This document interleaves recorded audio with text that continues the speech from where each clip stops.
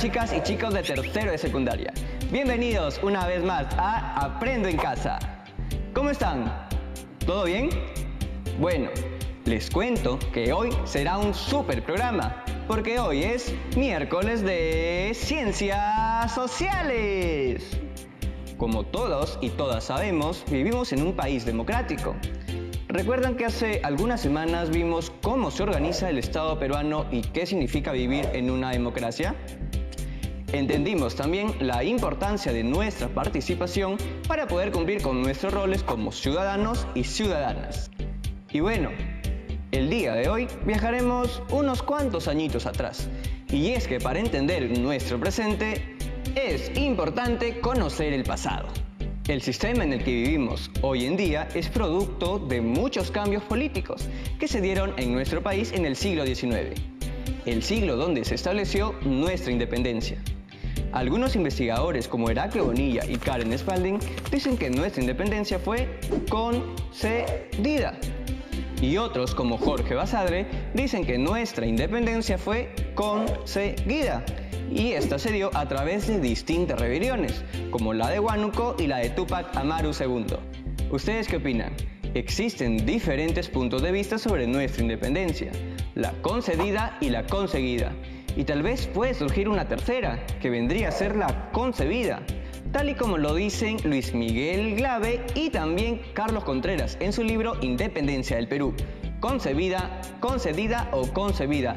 Bueno, el tema de cómo se logró nuestra independencia sigue siendo un debate, pero para aportar y reflexionar sobre nuestra soberanía, les voy a decir una pregunta.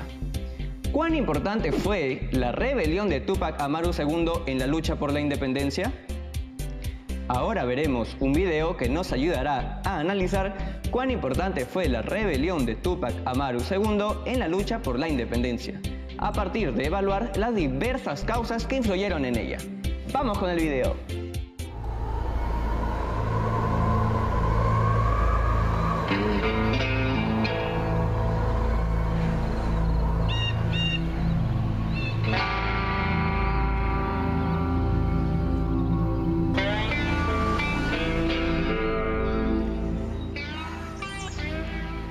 Rebuscando en esta cajita de cosas viejas, me encuentro con este par de billetes.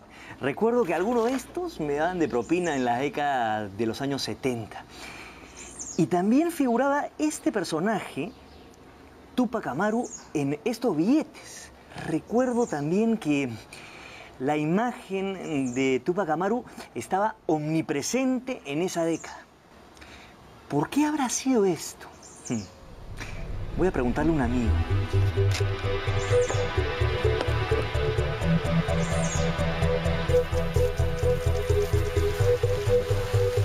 El amigo se llama Leopoldo Lituma y ha escrito un libro muy interesante sobre la iconografía, es decir, la imagen de Tupac Amaru. Vamos a ver qué me cuenta. Estos billetes de acá los recuerdo de mi época de los años 70, pero ¿por qué son, están tan presentes en mi memoria de esa, de esa época? ¿Por qué? Estos billetes corresponden a toda una emisión que salió a los pocos meses del gobierno de Velasco Alvarado. ¿De dónde proviene esta imagen de Tupac Amaru? Claro, la imagen clásica de Tupac Amaru es aquel que tiene un sombrero negro, su traje también negro, una corbata, este, ¿no? un pañuelo blanco aquí. Esa imagen viene de los libros escolares de fines del siglo XIX y principios del XX. Ajá. Ahí se incorporaron en estos textos y de ahí es que el artista Jesús Ruiz Durán Sí. toma esos recuerdos infantiles y crea esta imagen esquematizada de Tupac Amaru. Claro, este, este que es en blanco y negro. Que ¿no? es en blanco y negro y que Velasco lo toma como símbolo de la revolución. Claro. Y que el logotipo del Sinamos también. Todas las SAI, las sociedades agrícolas de interés social que se crearon en ese entonces, tenían al- a esa imagen de Tupac Amaru como parte de su logotipo también. Hay todo un periodo de la historia que ya se pierde la imagen de Tupac Amaru.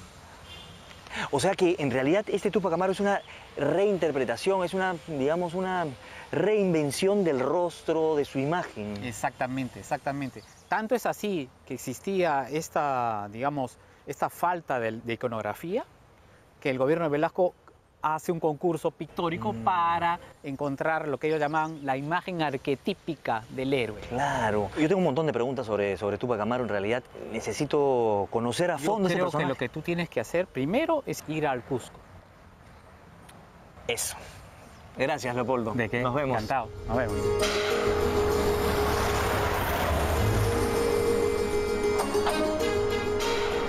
Llegamos a Cusco para tratar de encontrar al verdadero Tupac Amaru. Este personaje producto de su tiempo, polémico, pero cuya memoria nos pertenece a todos los peruanos. Buscamos a Donato Amado, prestigioso historiador cusqueño, para que nos ponga en contexto a José Gabriel Condorcanqui Noguera, nombre de bautizo de Tupac Amaru. Gonzalo, bienvenido. ¿Qué Gracias, tal? ¿Cómo profesor. estás? He venido al Cusco para aprender un poco sobre Tupac Amaru y creo que usted es la persona indicada, por lo menos. Cuénteme un poco, para empezar, ¿Tupac Amaru era un personaje conocido en el Cusco? Claro que sí. Eh, Tupac Amaru es un personaje que marca toda una identidad eh, en el siglo XVIII. Tupac Amaru en el Cusco era conocido, muy bien conocido, no solo como curaca principal o como curaca gobernador, sino también era un, un hombre de comercio, ¿no? Tenía que estar en los grandes mercados como el Cusco, como, como Potosí, Tupac Amaru nace en, una, mm, en un periodo particularmente difícil para España y sus colonias, ¿no? Sí. Cambio de este, Casa Real, vienen las reformas borbónicas. ¿Qué vienen a hacer las reformas borbónicas? Me parece que es un mecanismo fundamental que de alguna otra forma da pie a la gran rebelión de Tupac Amaru. El manejo, el reparto de, de- de- de comercio, el reparto de, de mercancías a los, a, los, a, los, a los curacas principales, ¿no? Que es también como consecuencia de eh, la reforma borbónica, ¿no? La apertura de los mercados, ¿no? Pero quienes eran descendientes de los 11 incas gobernantes del gran Tahuantinsuyo, ellos tenían todo el privilegio de llamarse descendientes de la sangre real, ¿no? Pero también en ese contexto también había que entenderlo a los descendientes incas de privilegio o provinciales, ¿no? Entonces, en ese contexto habría que ubicar a Tupac Amaru, José Gabriel Condorcanque Tupac Amaru, ¿no? Y que se educó aquí en el Cusco. Que se educó en el Cusco. Cuando ya se establece el colegio aquí, ahí estudia Tupac Amaru. Claro, claro. Le correspondía. Le correspondía ahí, ¿no? Como cualquier otro curaca principal de, de- de- de cualquier provincia, le correspondía. ¿Está ese colegio todavía por aquí? Claro. Todo esto me parece realmente fascinante, eh, me encanta, pero siento que debo, no sé, ir a las fuentes, como se dice, ¿no? Claro. ¿Por dónde debo empezar? Yo te sugiero, creo que debes visitar los pueblos donde él andó, los pueblos donde gobernó. Entonces yo creo que me voy para allá y estoy seguro que voy a regresar donde usted haciendo una especie de círculo para poder terminar esta, esta historia y a rendirle cuentas también. no, Gonzalo, muy bien. Gracias. Te deseo mucha suerte. Muy amable, gracias. Es- son pueblos tan lindos Sí. que te va a encantar, ¿no? Te van a dar un paisaje espectacular y bueno, pues a recorrer por la Así es. historia. Nos vemos, gracias. ya, chao, chao, chao, chao.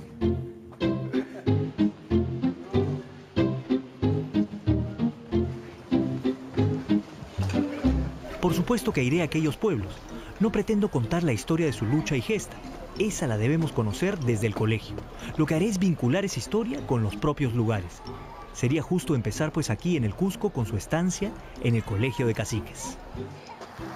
A tan solo 200 metros de la Plaza de Armas del Cusco se encontraba el Colegio para Caciques e Indios Nobles, regentado por los jesuitas. Hoy de ese colegio solamente queda la fachada. Aquí estudió Tupac Amaru II. En 1750 se entera aquí mismo de la muerte de su padre y quizás aquí también haya aprendido, haya leído los comentarios reales de Garcilaso de la Vega, ese mundo idealizado de sus antepasados. Cuando muere su padre, él ya sabe que es el nuevo cacique de Surimana, Tungazuca y Pampamarca. En 1758 se va a Surimana. Nosotros haremos lo mismo.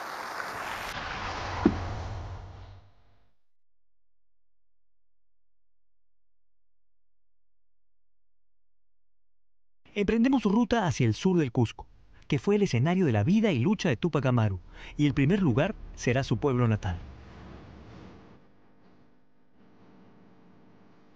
El camino es arduo, pero nos damos cuenta de la majestuosidad de sus paisajes y también de su postergado desarrollo.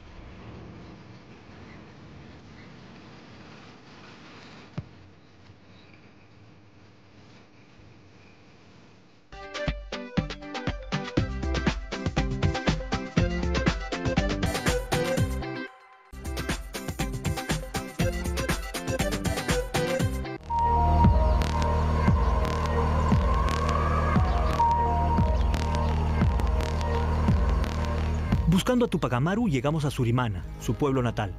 El nombre al parecer quiere decir ave de ninguna parte. Y hasta hoy, a pesar de su vinculación con Tupac Amaru, Surimana parece ser de ninguna parte por su atraso. Después del Cusco, creo que la primera parada obligatoria es el lugar donde nació Tupac Amaru. Ese pueblecito se llama Surimana y lo hemos visto ahí en el camino, aferrado a las montañas, frente al cañón de la Purímaque. Y la primera parada obligatoria va a ser su casa natal. Ahí nació.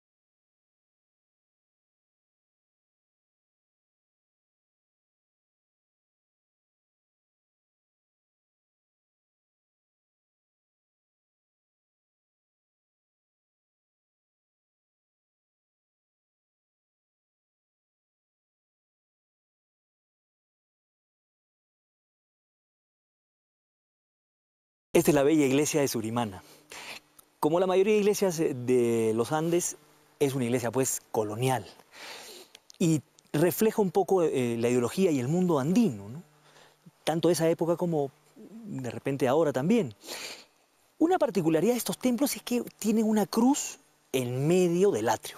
¿Cuál es la función?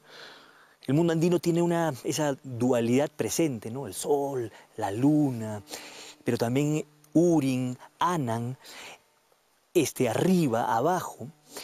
Y esto se muestra aquí. Por un lado, por ejemplo, entraban los del Urin y por el otro lado de la cruz entraban los del Anan. Por un lado entraban eh, el cabildo de indios con su barayoki y por el otro las cofradías con sus mayordomos y priostes.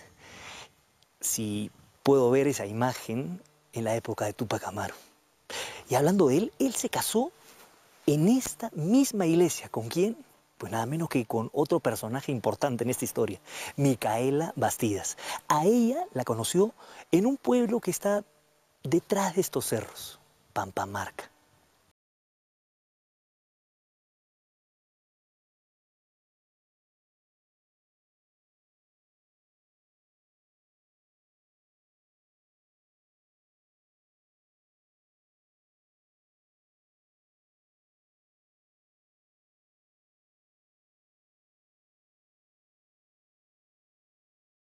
El historiador José Antonio El Busto estuvo precisamente en algún momento en esta casa.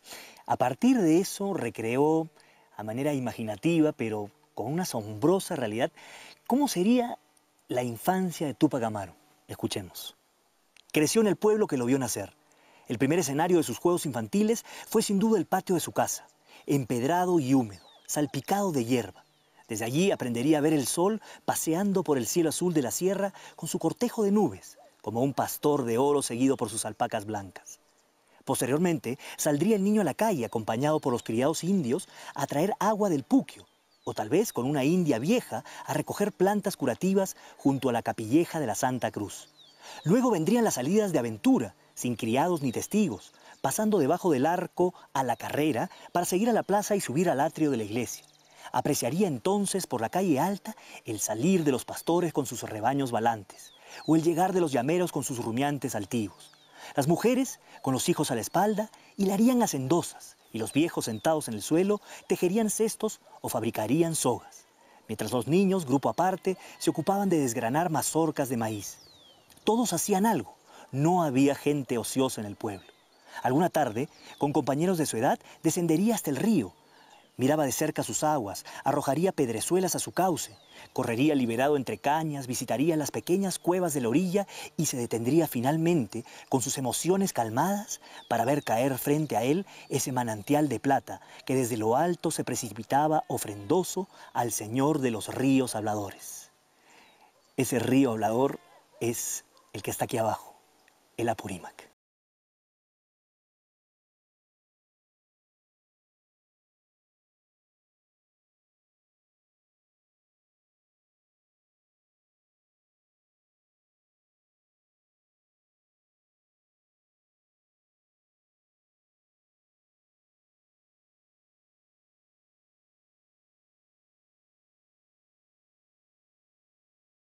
El pueblo de Pampamarca está esta laguna, también del mismo nombre. ¿Saben qué me emociona? Me emociona saber que por aquí caminó la propia Micaela Bastías, quizás en una época posterior, junto a Tupac Amaru. Es el mismo paisaje que vieron sus ojos. Micaela le dio tres hijos a Tupac Amaru, Hipólito, Mariano y Fernando. De alguna manera compartieron el destino trágico de sus padres. Me emociona saber que también por aquí quizás caminaron románticamente y Tupac Amaru le decía a ella Mica o Micaco, cariñosamente. Y ella le decía a él Chepe, diminutivo de José. Y es que eso es lo interesante. Traer a la dimensión humana a estos semidioses de la patria, estos personajes míticos que también sintieron, también amaron, también tuvieron deseos y también sufrieron.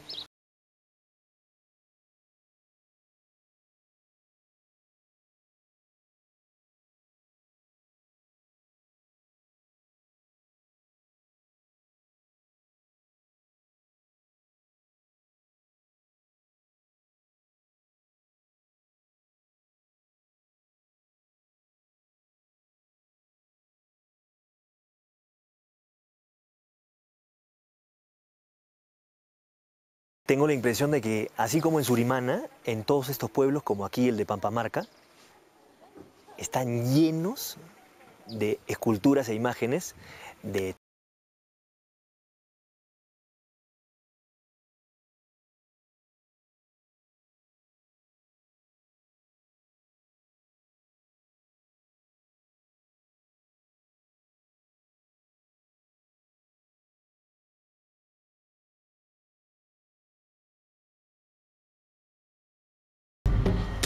libro de casamientos, septiembre del año 1749. Así es. Y esta es la firma de Tupac Amaru. Así dicen, ¿no? Bueno, por acá esto es interesante porque, por ejemplo, es una mezcla entre un cóndor, ¿no? Entendemos cóndor, kanki, y, hasta una serpiente, ¿no?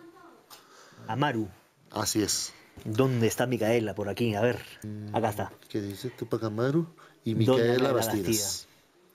Tupac Amaru era algo, así como un registrador de los matrimonios, ¿no? Porque acá está la Juan de Mollinedo. Exacto. Padrinos, don Fernando Topamaru. No, debe ser Doña. Doña, sí. Doña Micaela Bastidas. Ahí está, que lo tengan a bien. En realidad Micaela no nace en el pueblo, sino cerca de aquí. Vamos a ver su casa y cuán guardada está su memoria. ¿La casa de Micaela Bastidas conoce dónde es? Arriba. Más arriba todavía. Derecha, izquierda, derecha, sí. Derecha, izquierda, derecha. Derecha, sí. Ahora que lo veo, todo este recorrido bien podría ser un corredor turístico, pues las vistas son preciosas y la historia fascinante. Es una alternativa más al Cusco tradicional. La verdad que acá izquierda, derecha, izquierda no tiene mucho sentido porque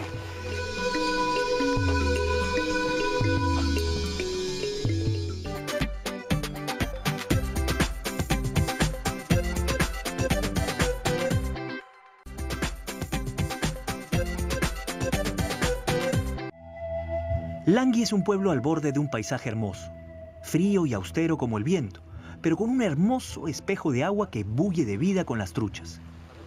El puente colonial es de una belleza extrema. Mírelo nomás, silencioso ante el paso de los siglos.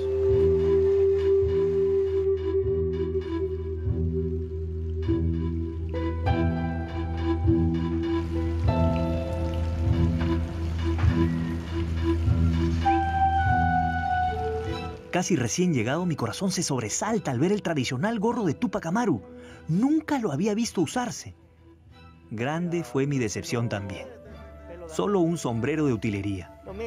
Nos gastamos entretenidas bromas y entramos a la iglesia.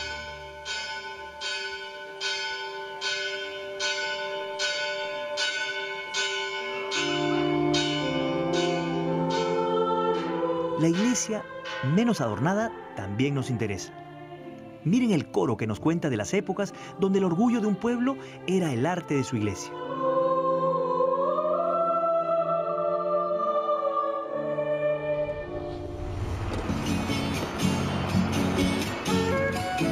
Guiados amablemente nos vamos a conocer el escondite final de Tupac Amaru, quien finalmente fue traicionado por su compadre y el cura de este pueblo para terminar siendo entregado con su familia al visitador Areche. Con el amigo Claudio hemos subido hacia las alturas del Langui, no solamente para ver la bella postal que refleja el lago Languilayo aquí detrás, sino para mostrar el cerro donde dicen los habitantes de Langui que se escondió Tupac Amaru. Detrás nuestro está el cerro Yanaorco. Tupac Amaru y sus huestes se quedaron aquí para reorganizarse, pero fueron traicionados finalmente. Su fin no estuvo aquí en Langui, sino algunos kilómetros más hacia el norte, en el Cusco. Y hasta ahí tendremos que ir para cerrar este recorrido. Me voy al Cusco a cerrar el círculo de esta historia con nuestro querido Donato Amado. La verdad que ha sido una experiencia enriquecedora venir de, de esos bueno, lugares Qué bueno. y he aprendido un montón. Ahora, eh, el fin de Tupac Amaru está aquí, en la Plaza del Cusco. ¿Qué, Sí. qué- qué pasa entre ese trayecto que es apresado en Langui y, y- y traído acá? Tupac Amaru es apresado y llega al, al- al Cusco y precisamente se encarcela donde es ahora el paraninfo Mm. de la universidad, ¿no? Rompiendo la camisa, ¿no es cierto? Con su propia sangre escribió la- una comunicación, ¿no? Un mensaje a la corona, el rechazo, quizás justificando la, la- la gran rebelión que estaba eh, dirigiendo, ¿no? Este documento existe en el archivo de Sevilla. ¿Quién hizo este castigo cruel? Yo creo que la, la- la- la- la respuesta desmedido del castigo a, a Tupac Amaru precisamente viene de las autoridades coloniales, en este caso de Arreche, ¿no? Pero en ese momento, la muerte del corregidor en tinta fue terrible también, pues, ¿no? El incendio que provocó en la iglesia de Sangrara fue terrible también, ¿no? Entonces, eh, quizás fue una respuesta desmedida, efectivamente, el castigo a Tupac Amaru, pero tenía que ser un castigo ejemplar. De otra forma, se le venía encima Mm. toda una rebelión. Ese día de la ejecución, pues, llovió, ¿no? fue como que el tiempo eh, mostró un rechazo ¿no? A una ejecución tan cruel. ¿no? ¿Qué cambia y qué continúa? ¿no? De acuerdo a la disposición de las provisiones reales, pues no más hablar en quechua, por ejemplo, no, no más pintarse eh, lo- con- de, lo- de sus antepasados, ¿no? no más utilizar la mascaipacha, ¿no? no más utilizar el vestido del Inca que se llamaba el yauto eh, o el cumbi. Se prohibieron leer prohibieron, también, sí. leer los comentarios reales, por ejemplo. Claro, desaparecieron los comentarios reales, ¿no? Los propios descendientes incas de las ocho parroquias, después de la rebelión, de- hicieron causa común a favor de la rebelión. Dijeron, si no se restituye la elección del alférez real inca, si no nos permite celebrar la fiesta del apóstol Santiago, entonces los 24 electores van a dirigir la gran rebelión de Tupac Amaru, ¿no? O sea que en realidad lo que hizo Tupac Amaru fue visibilizar un poquito esta injusticia Exacto. para todo el mundo. Exacto. O sea que su muerte, Claro. No fue en vano. no fue en vano. No fue en vano, no, no fue en vano. me quedo con eso. Muy bien. Un gusto. Igualmente. ¿Quién fue Tupac Amaru? ¿Valió la pena su sacrificio? ¿Qué significa para nuestra historia? ¿Qué debemos aprender de ella? Son todas preguntas válidas y hasta el día de hoy se siguen respondiendo. Quizás usted tenga sus propias respuestas. Por lo pronto yo salgo más enriquecido y más unido a esta tierra y su pasado. Y nada ni nadie puede decirse el dueño de su nombre e historia, pues nos pertenece a todos en común. Recordémoslo.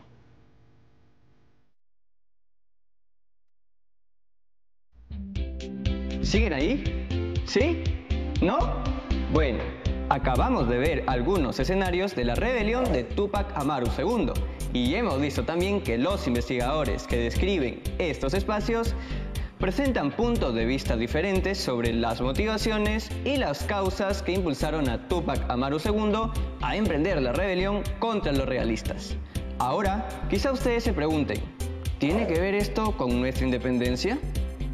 ¿Qué tan importante habrá sido esta rebelión? Cuestionémonos sobre el éxito o fracaso de estos levantamientos, sobre los liderazgos y también sobre la movilización de las masas. Con todo esto, podemos dar respuesta al siguiente reto.